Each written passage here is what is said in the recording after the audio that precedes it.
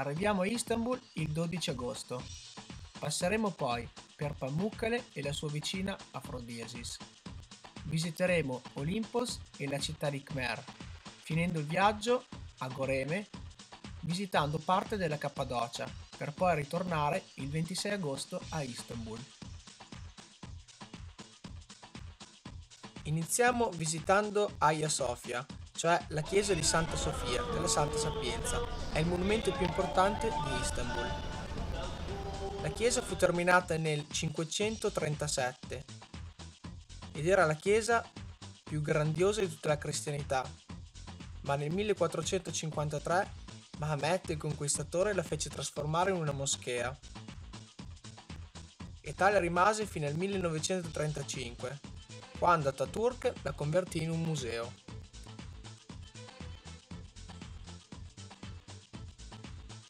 Cosa? Colonna su Dante. Giro da sinistra a destra. Bisogna esprimere un desiderio.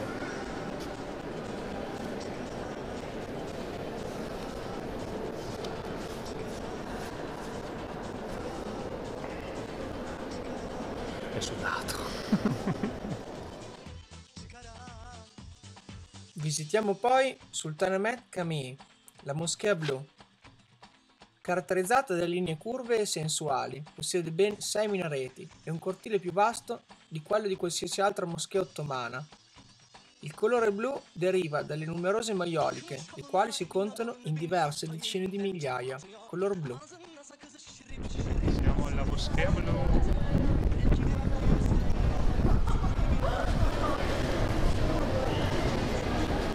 Nel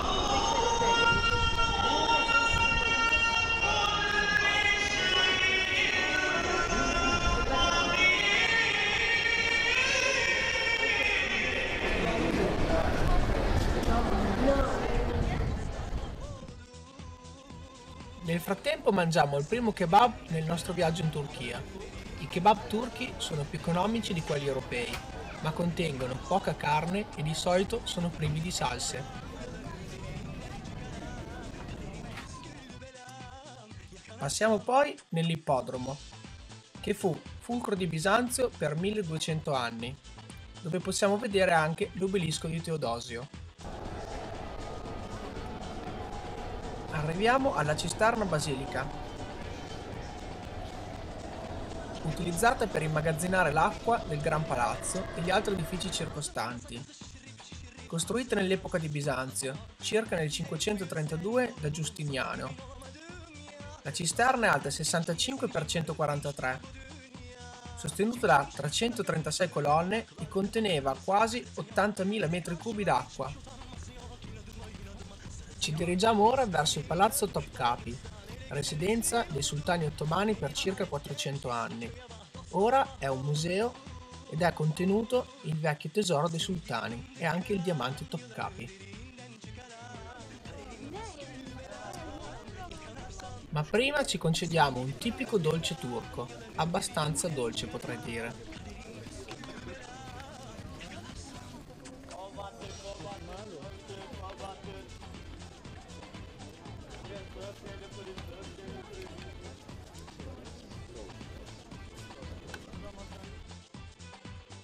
Diamo un'occhiata all'harem, il posto in cui il sultano poteva abbandonarsi alla più totale dissolutezza. Harem significa letteralmente privato. Conteneva la moglie e le concubine, tutte quelle che il sovrano era in grado di avere. Alcuni sovrani ottomani ne ebbero fino a 300. Diciamo che ci si divertiva all'interno.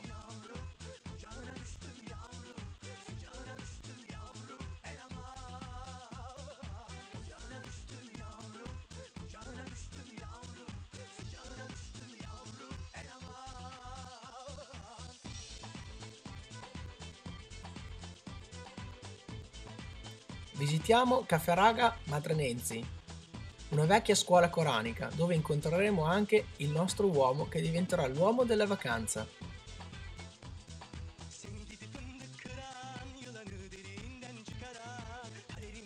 Una bella tazza di zuppa ciorba e un pane piatto chiamato pita, diciamo che è abbastanza buono, seguito da un mulle benci in una mulle bellanceria.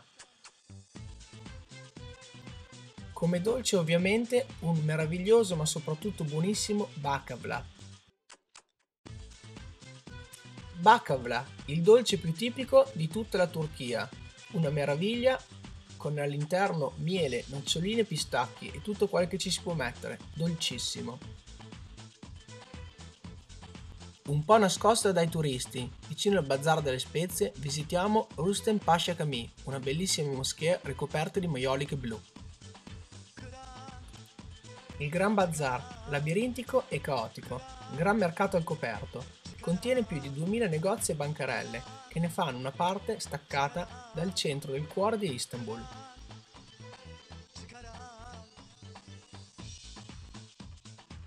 Visitiamo Suleimani Kami, una maestosa moschea che incorona uno dei sette colli che dominano il Corno d'Oro, punto di riferimento di tutta Istanbul. È visibile da tutta la città.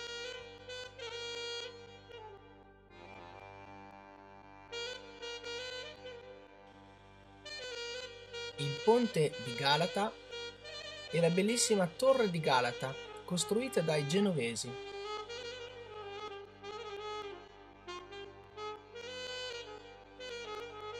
Un'occhiata veloce all'Università di Istanbul per poi bere un Salgam Siup, sciroppo a base di rape bianche e aceto. Il famosissimo Ayran, yogurt, acqua e sale,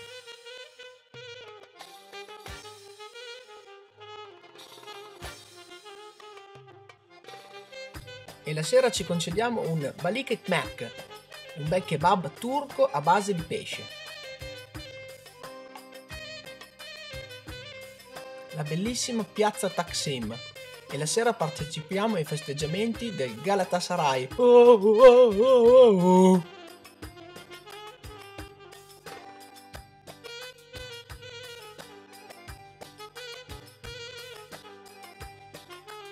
poverissimo quartiere vicino alla chiesa di Ciora.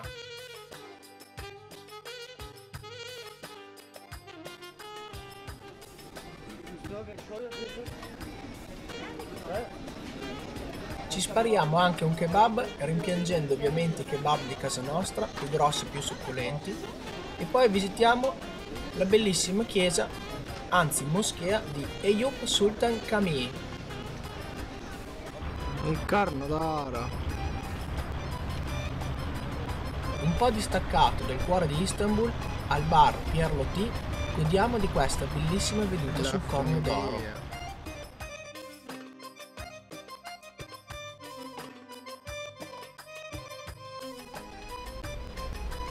Bella. Poi non c'è nessuno.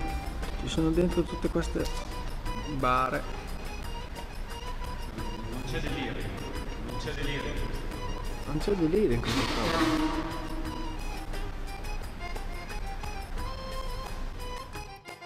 Nel pomeriggio visitiamo il palazzo Dolmabace, residenza reale ottocentesca e anche una delle mete preferite dai turisti. Il minimalismo non era sicuramente la filosofia di vita del sultano Abdulmecid, il quale, deciso di smentire le voci sul declino militare e finanziario dell'impero ottomano, pensò di trasferire la corte del palazzo Topkapi in un nuovo palazzo ancora più lussuoso sulle rive del Bosforo.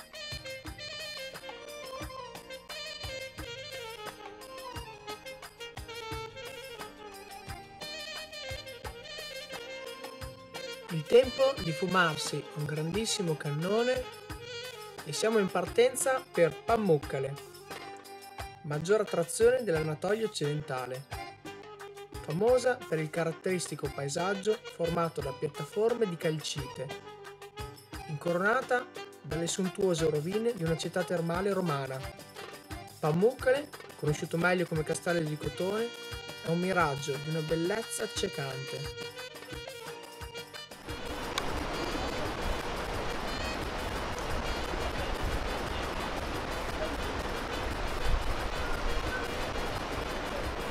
아.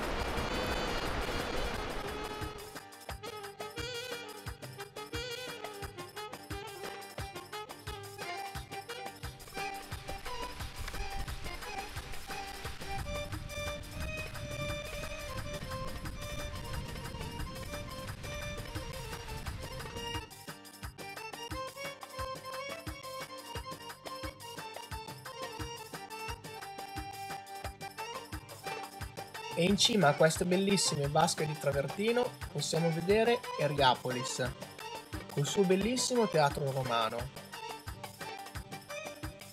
Degna di nota anche la piscina termale dichiarata patrimonio dell'UNESCO.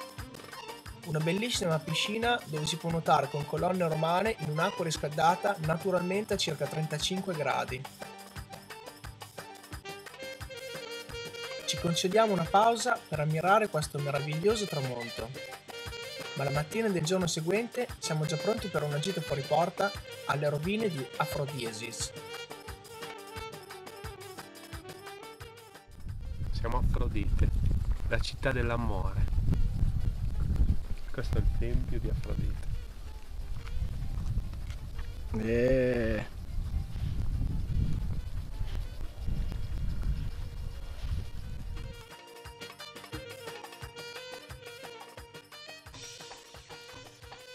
Visitiamo bellissime rovine tra cui basiliche, terme e teatri. Ma il più bel teatro è sicuramente questo bellissimo teatro di marmo bianco, con circa 7000 posti a sedere, un auditorium enorme. Alcune personalità avevano i posti riservati e il loro nome era inciso direttamente nel marmo.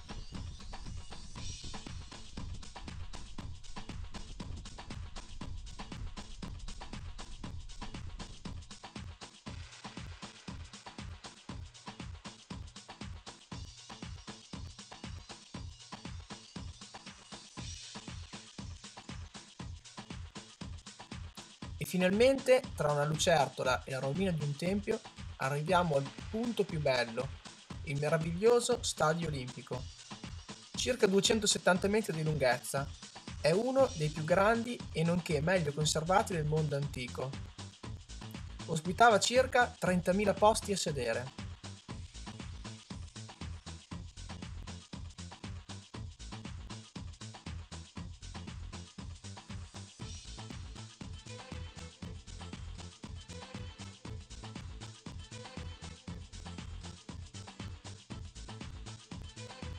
Prendiamo un pullman notturno diretto a Olympos.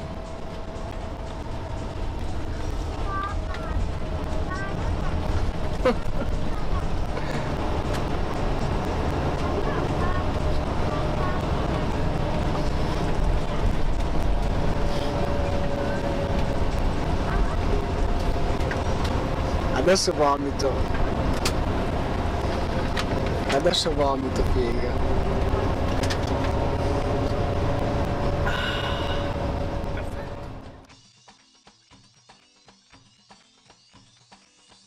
Koluna elin adamını beni orta yerimden çatlatıyor. Ağzına sakızı şişirip şişirip Dopo un lunghissimo viaggio arriviamo finalmente a Olympos. Soggiorneremo nel Kadirs Yoruk Top, uno stranissimo campeggio con le case sugli alberi. Finalmente riuscirò a dormire nelle bellissime case sugli alberi. Letto in camerata.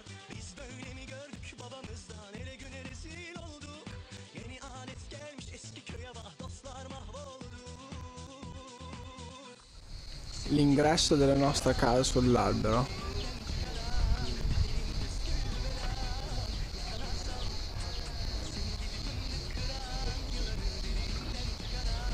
Non scherza questa. E finalmente si arriva al mare, dove passeremo due bellissimi giorni sul Caicco. Si esibisce in un tuffo, vediamo che tuffo. Acqua azzurra, e io morirò. Vedremo quale sarà il tuffo di Simone.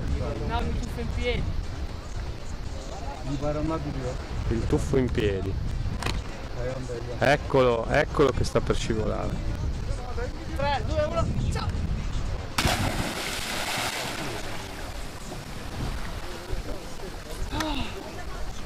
Sei vivo?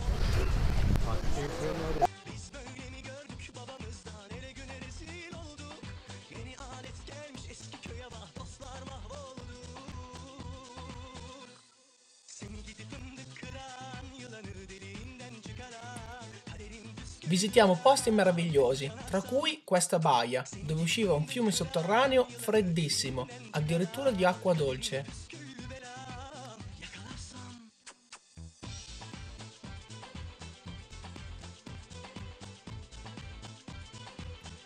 Per la felicità del nostro amico Callegaris Supremilus arriviamo a Checova, una bellissima isola al largo della costa, dove si possono ammirare resti romani dispersi nel fondo dell'acqua tramite una barca che ha il fondo di vetro, un'esperienza abbastanza insolita.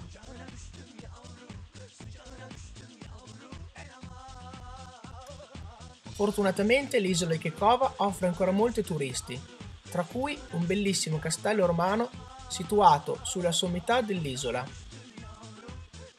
In un contesto di olivi centenari e resti di tombe romane. Ancora più suggestiva è la Pirate Caves, una grandissima grotta formata dall'erosione del mare, alla quale la nostra barca piace entrare quasi completamente. Peccato la musica del Titanic di sottofondo, un po' inquietante. Grazie a un mare meraviglioso troviamo addirittura il tempo per rilassarci. Abbiamo il Callegaris Ridiculous in una versione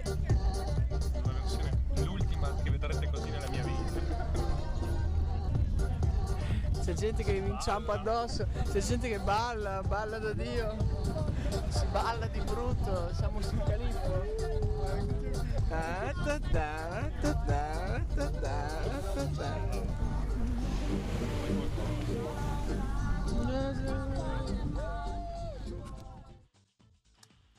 Giusto il tempo per fare l'ultima idiozia giornaliera creando bandiere turche con i sassi e ci troviamo finalmente alla chimera.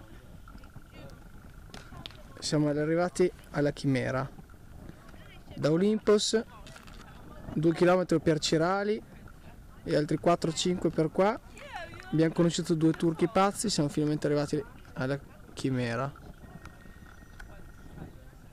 Ed ora presento il nostro protagonista, il signor Calle Matthew. C'è molto caldo qui.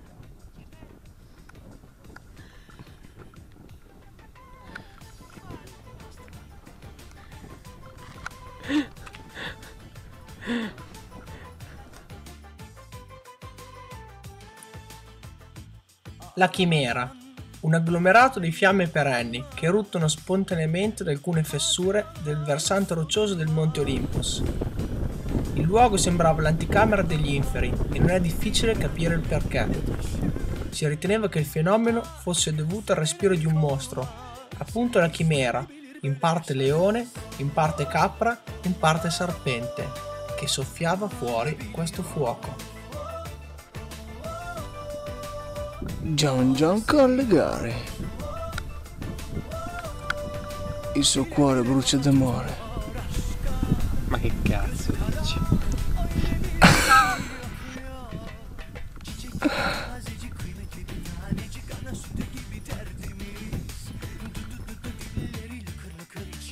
Giusto il tempo di fare una foto a qualche animale notturno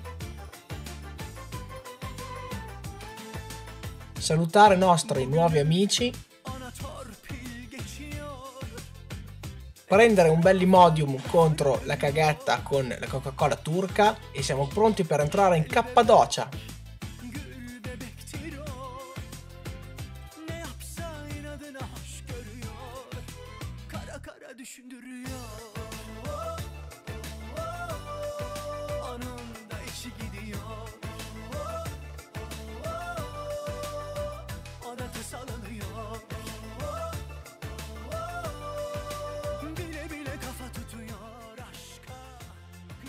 Dopo un lungo viaggio notturno arriviamo in Cappadocia.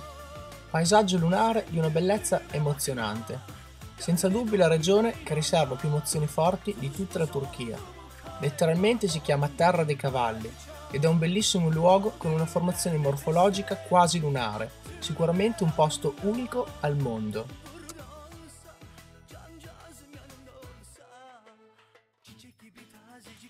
Goreme, ottimo punto di partenza per visitare la Cappadocia. Un incantevole villaggio con una quantità di sentieri inesplorati, capace di mandare in visibilio anche il viaggiatore più consumato e farlo camminare per ore e ore e ore, senza mai stancarsi. visitiamo il Museo a cielo aperto di Goreme, un insieme di chiese, cappelle e monasteri bizantini scavati direttamente dentro la roccia.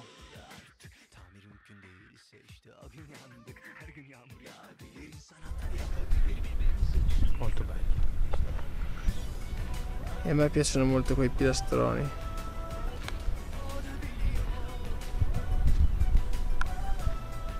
Cammini delle fate.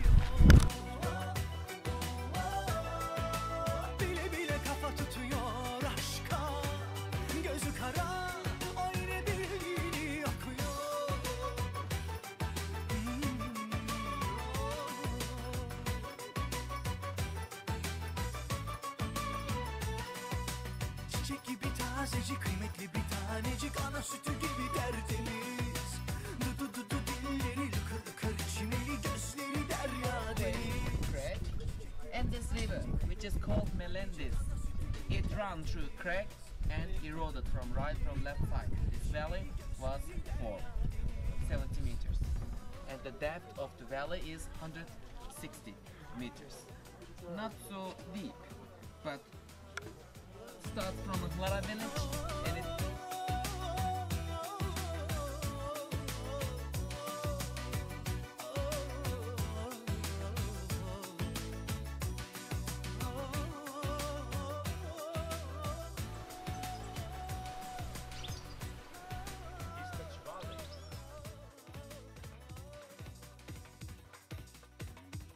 E a metà del cammino della valle troviamo anche il tempo di rifocillarci, con diciamo una piadina locale.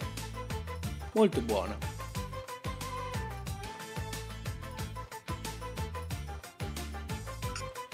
Perdiamo 10 minuti e quasi nasce un nuovo amore tra il Calle e una famosa attrice turca, stata parecchie volte anche in Italia. E in un attimo ci ritroviamo alla Selime Cathedral, paesaggio abbastanza lunare. Si sale da uno stretto sentiero e si arriva qua. Al quarto piano di questo imponente edificio monastero, ricoperto di chiese, piccionaie, tunnel scavati, gallerie, camere enormi che conducono ad altre mille corridoi, gallerie.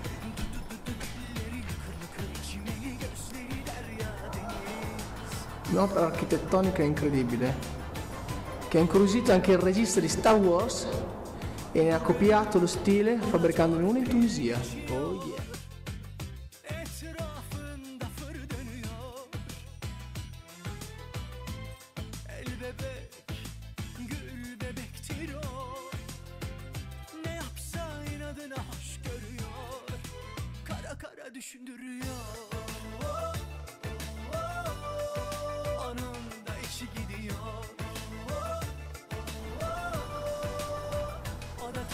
Una montagna, 10 piani.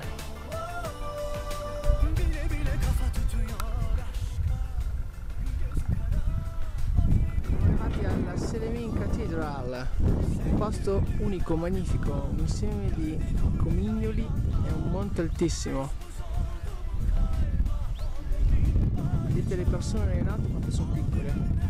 Cunicoli, gallerie, montagnette, monastero, cappelle, chiese, tutto scolpito nella roccia dall'uomo, che è un signor Calegare Supremus. Ciao, che saluta. Gole gole, gole gole, anche la gendarme dietro. Sentite come sono simpatici i nostri amici turchi. Molto molto bella, veramente suggestiva. 10 piani diversi da visitare, con cucine, chiese, piccionaie, corridoi, dispense, camere da letto, living room. Molto molto bello. Però adesso, visto che ci hanno dato 20 minuti, andiamo e salutiamo il signor Calegari che sta a make a picture, che sta facendo gole gole gole. Ciao ciao ciao. La mattina del giorno seguente ci ritroviamo su un pallone aerostatico, un'esperienza davvero da ricordare.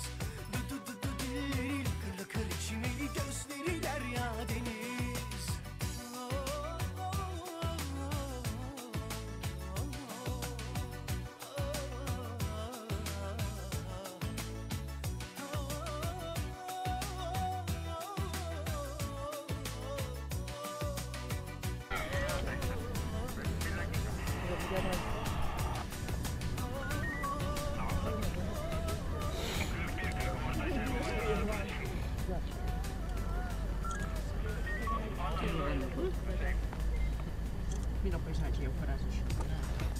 No, es que.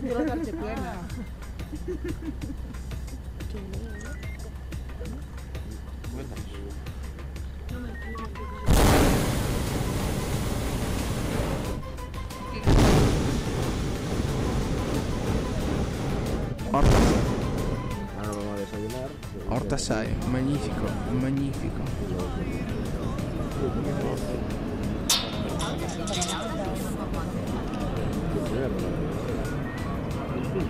Dai, su, muoviti. Eccola la cosa giusta.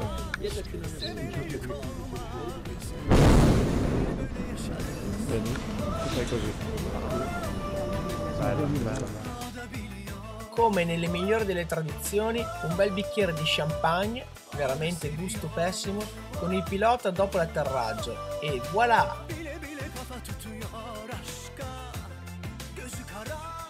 Visitiamo Derinkoyu, la città sommersa, che era in grado di accogliere fino a 10.000 persone. Nel VI e VII secolo, quando arabi e persiani muovevano guerra contro i cristiani, in questa regione vi erano circa 100 città sotterranee, tra cui 37 aperte al pubblico. I cristiani andavano a rifugiarsi sottoterra. Derinkoyo ospitava circa 10.000 persone e Camaiali poteva ospitarne fino a 3.000, anche per mesi.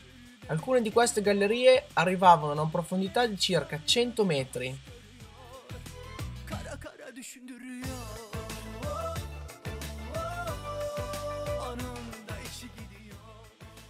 Per cancellare ogni possibile traccia della loro presenza, gli abitanti di queste città camuffavano i condotti di areazione in modo da farli sembrare altrettanti pozzi, dove però poteva capitare che i soldati persiani gettassero veleno nel tentativo di contaminare le loro riserve d'acqua.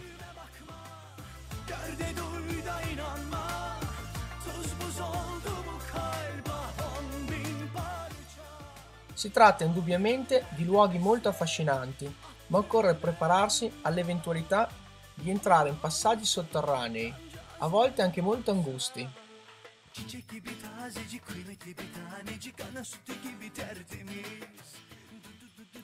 Dimenticavo un consiglio, se siete claustrofobici state a casa.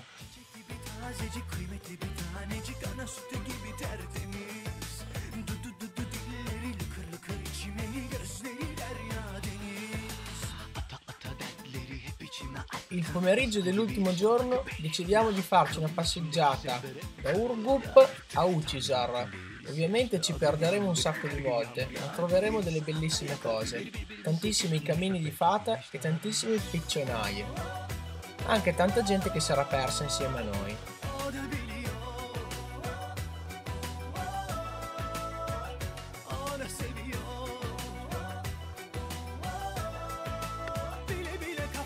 Cammino sarà lungo e faticoso, ma finalmente tra qualche ora arriveremo alla nostra meta, Neveshire.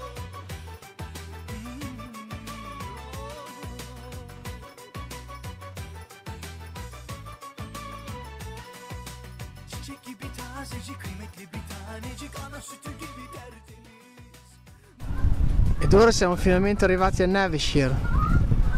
Dopo una lunga camminata nella Valle dei Piccioni, ci troviamo di fronte a questo monolito alto 60 metri, dove si nascondevano si nascondeva la popolazione nelle guerre, collegato con un tunnel di un chilometro al fiume che passa sotto. C'è tutta la vallata di Nevershire con le sue punte, i suoi coni, i suoi cammini delle fate, i suoi coni gelato, rosi dal vento, scavati.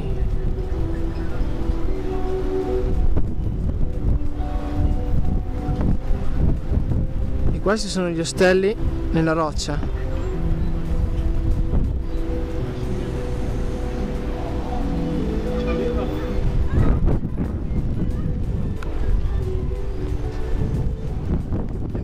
Andiamo là! Turchia! Un'ultima buffata turca, come dessert bakavla.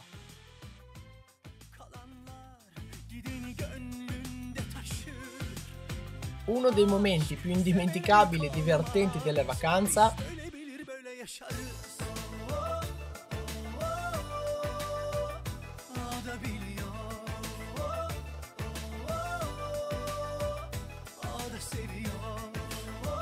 Merhaba. Ora un ultimo saluto dalla Turchia. Oscar Cial.